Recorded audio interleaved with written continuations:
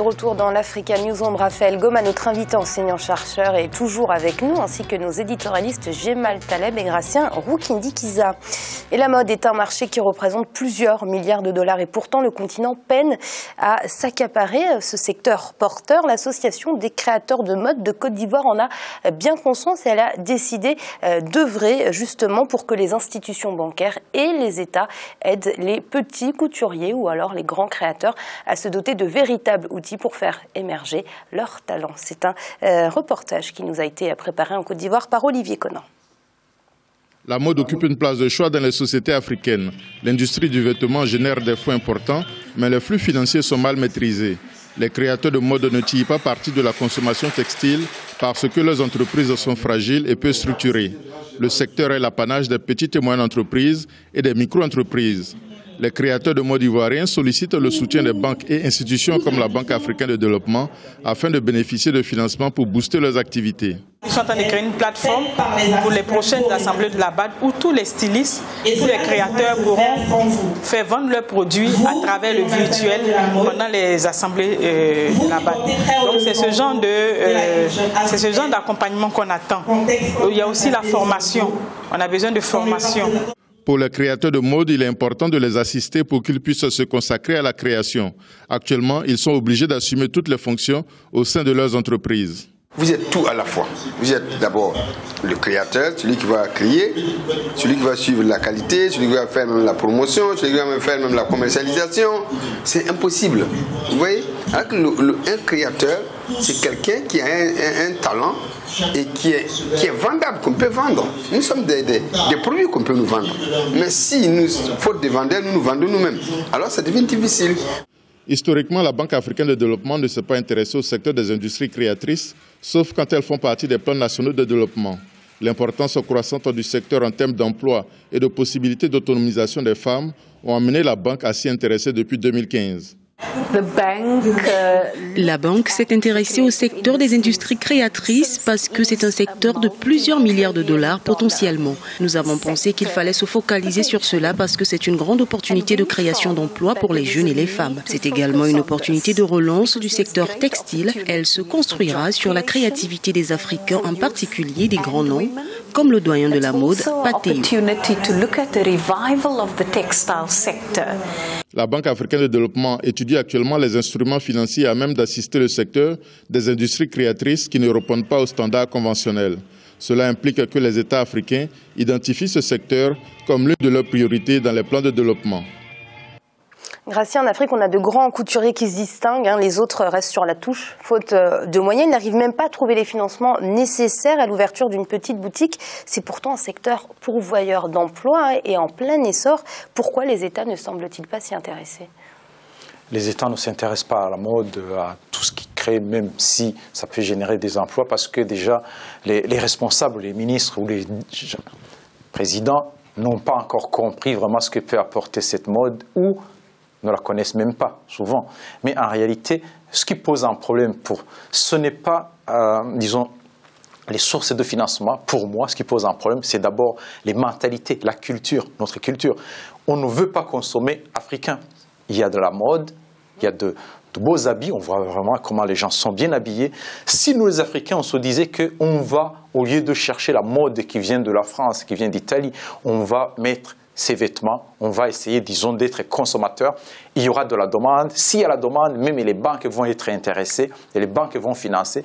Le problème, c'est que ni les banques ni les États ne vont pas facilement accepter de financer, disons, une production, mais qui n'a pas de, beaucoup de demandes au niveau de la population. C'est surtout, moi je dis bien, c'est surtout culturel qu'on arrive à mettre les vêtements avec les couleurs africaines. Or, on ne les voit pas, même en Afrique.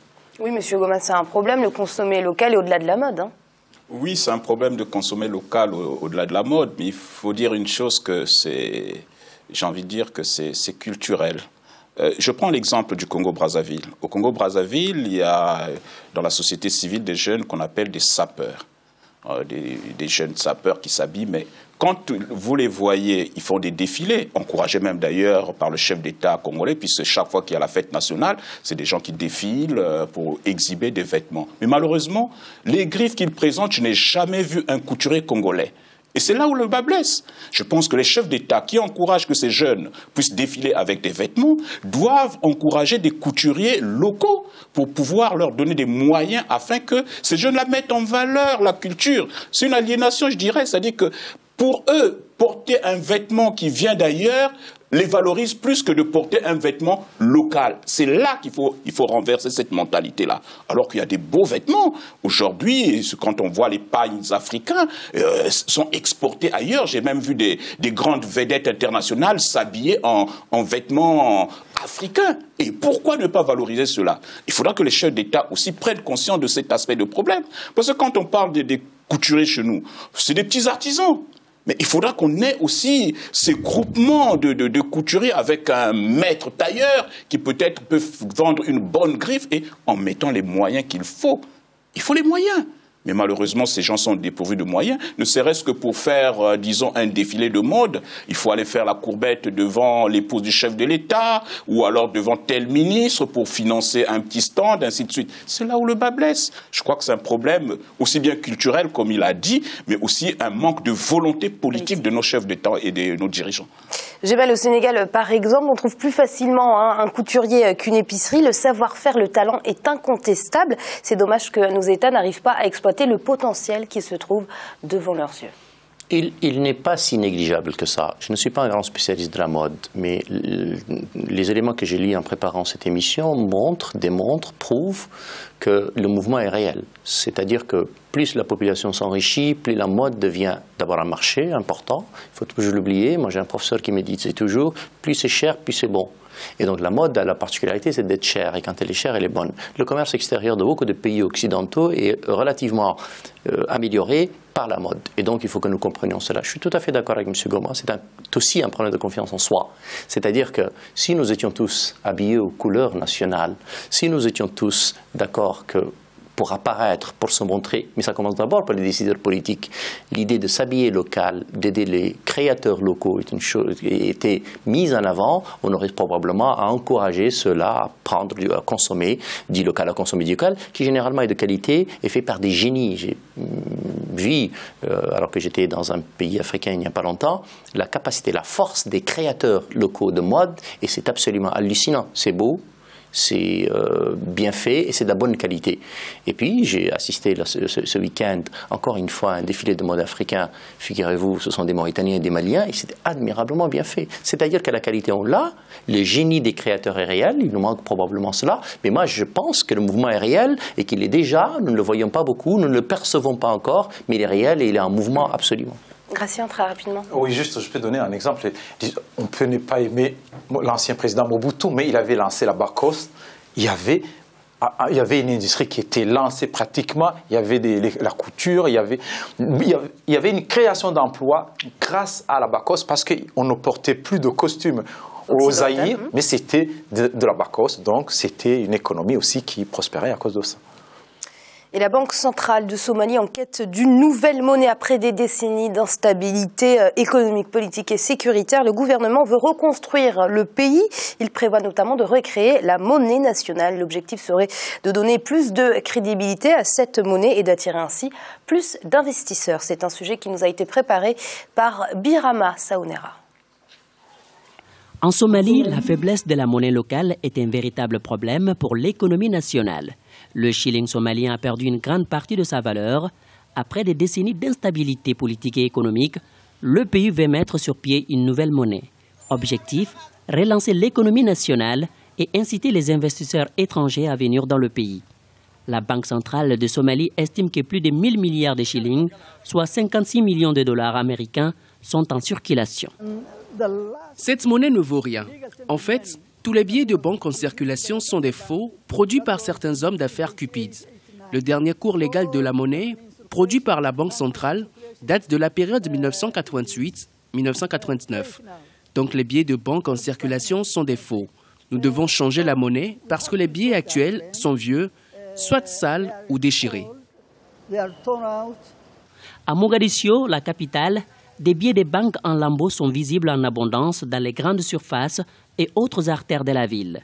Cependant, la plupart des Somaliens vivant en milieu urbain ont renoncé à l'utilisation du shilling. au profit du dollar américain. Les gens se plaignent toujours de la monnaie car elle est vieille et n'a pas de valeur.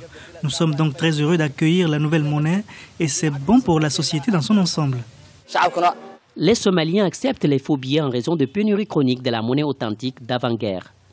Aujourd'hui, le shilling somalien a besoin d'un nouveau système pour fixer le taux d'échange afin d'être crédible aux yeux des investisseurs nationaux et internationaux. Notre devise n'est reconnue par aucun autre pays dans le monde. Elle a perdu sa crédibilité et a disparu sur le marché. Vous ne verrez nulle part notre monnaie. Les gens ont des difficultés en utilisant ce type de monnaie. Je pense que cette monnaie que nous utilisons en ce moment n'avance plus. À mon avis, plus tôt nous cesserons de l'utiliser, mieux notre économie et le peuple s'en porteront. La Somalie veut reconstruire une économie émergente. Des discussions sont déjà en cours avec les bailleurs de fonds et les organismes financiers internationaux. Depuis 2013, la Banque centrale somalienne a essayé de construire un système financier crédible afin de sortir 12 millions d'habitants de la pauvreté. Monsieur Goma, la Somalie qui est en pleine reconstruction a besoin inévitablement des investisseurs internationaux. Changer de monnaie apparaît donc comme une nécessité. Oui, changer de monnaie apparaît comme une nécessité. Bon, c'est pas vraiment euh, le but en soi. C'est pas tant changer de monnaie c'est aussi sécuriser cette monnaie et garantir cette monnaie, cette monnaie, avoir une économie fiable sur laquelle se repose la monnaie. C'est pas parce qu'on aura changé cette monnaie que finalement euh, le pays va subir un essor. Je crois que, bon, moi je suis partisan de ceux qui, militent pour que euh, l'Afrique ait vraiment une monnaie. Mais bon, dans le cas, en l'espèce de la Somalie, euh, je crois qu'il y a beaucoup de billets de contrebande. C'est ce, qui ressort dans ce, dans ce reportage. Je crois qu'il faut sécuriser le système bancaire et puis, euh, disons, lutter contre le trafic, euh, disons, des, des, faux billets. Et c'est ce qui fera, parce qu'on peut mettre une monnaie, une nouvelle monnaie, mais tant qu'on ne mène pas une lutte assidue contre, disons, la fraude bancaire, contre les faux billets, on retombera dans les mêmes travers. Je crois que les problèmes, il faut aller les voir ailleurs. C'est bien que, que change la monnaie. Mais encore faut-il arrimer sur quoi? Sur, quelle monnaie locale au niveau de l'Afrique? Parce que c'est ça. Les Africains, aujourd'hui, je crois que doivent réfléchir sur une monnaie africaine. Ce qu'on voyait, ils se plaignaient, je crois. Et, pas le franc CFA. Et pas le franc CFA, justement. Non, non. Ah, moi, j'ai toujours lutté pour que l'Afrique ait une monnaie, et notamment les, les, pays francophones, euh, que vraiment qu'ils, euh, euh, comment dirais-je, qu'il vraiment ait une monnaie qui ne soit pas adossée toujours sur le franc CFA. Et ça retarde d'ailleurs beaucoup d'avancées dans, les économies, euh, notamment en Afrique du Sud du Sahara, notamment dans les pays francophones. Donc autant pour euh, les Somaliens, euh, c'est bien de changer la monnaie, mais encore faut-il qu'ils essaient de voir dans la sous-région sur quelle monnaie ils vont s'arrimer pour pouvoir garantir la sécurité et bien sûr, comment dirais-je, l'échange qu'il peut y avoir avec cette monnaie. Puisqu'on le voit même dans certains pays autres que la Somalie, ils utilisent le dollar. Allez-y en RDC, les gens vont préférer prendre le, dollar. Allez-y au Congo-Brazzaville, les gens préfèrent prendre l'euro. Allez-y dans d'autres pays. C'est pour dire que c'est des monnaies qui, finalement, n'ont aucune valeur. Et pourquoi? Il faut se poser des questions. Je crois que le problème majeur est celui-là. Il faut que les Africains réfléchissent sur une monnaie, euh, soit sous-régionale, puisqu'on a plusieurs sous-régions, mais dire, bon, voilà une monnaie pour tel pays et qui n'a pas de valeur, qui au bout de 5 ans va être dévalorisée, transporter ça dans des fûts de pétrole pour euh, aller acheter un bout de pain, là, il y, a un problème. J'ai mal, très rapidement, c'est un chantier auquel s'attaque la Somalie. Oui, non, c'est un chantier important. L'économie, la, monnaie reflète l'économie d'un pays, l'économie de la Somalie, qui semble-t-il n'est pas morte en dépit de la guerre, est encore à construire, le pouvoir politique est à construire. Je suis bien heureux de savoir que finalement toute volonté de créer une monnaie n'est pas morte et que les transactions continuent tant bien que mal à fonctionner sur le marché somalien. La solution viendra, de mon point de vue, le jour où on aura choisi la forme de l'État somalien et puis euh, sa réalité, sa réalité euh, concrète. Gracien, très rapidement, une réaction, parce que ça va être la fin de cette émission. Oui, toute monnaie se repose sur la confiance. Si les Somaliens n'ont pas confiance en économie, dans l'économie du pays, même si on met une autre monnaie, il y aura toujours des problèmes. Ils vont préférer une autre monnaie. Quel que soit, que ce soit RDC ou d'autres pays qui, ont, qui choisissent le dollar, c'est parce que les, les économies sont se portent pas bien, ils n'ont pas confiance dans ces économies. La monnaie, c'est toujours un papier qui est garanti par la confiance des citoyens. Merci Gracien. Merci Amira. Bonsoir à tous. Merci à vous, Gémal. Merci Amira et bonsoir à tout le monde. Et merci à vous également, Monsieur Goma. Je rappelle que vous êtes enseignant-chercheur. Merci pour vos analyses. Merci Amira et bonsoir à tout le monde. Vous l'aurez compris, c'est la fin de cette émission. L'Africa Newsroom, ce n'est jamais fini puisqu'on se retrouve demain pour une nouvelle émission, toujours consacrée aux sociétés civiles sur le continent africain. Merci de nous avoir suivis et à très vite.